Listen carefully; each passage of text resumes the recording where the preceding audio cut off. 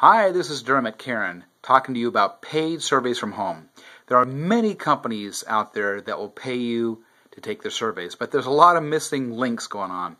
I joined three different companies to see what it would be like to be paid for a survey. One company, uh, I entered my demographic information and asked that at the beginning of every survey, and four times it said you are in the wrong demographic. So by filling that out up front, I didn't get paid anything. Why wouldn't they have you do the demographic, demographic information up front and then give you the surveys that count? Another company, I took three surveys, one for $5, one for 7 one for 10 And when I clicked on to be paid for those surveys, it came back that I didn't validate my account on the email. I went back to the email to recheck and twice. And I, I clicked on the link and it, and it said it's already been validated. So I didn't get paid for those. A third very common fact about the paid surveys is that many of them are a dollar or two. One I even saw was 50 cents to be paid.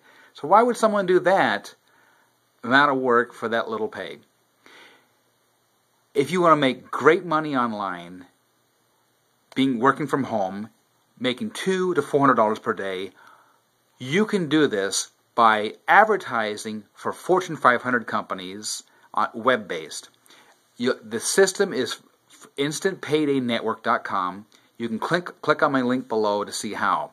It's fantastic. You get paid directly from the Fortune 500 companies right into your PayPal account the day someone tests their services. Now, these are companies that want people to try their services, not buy, but try them.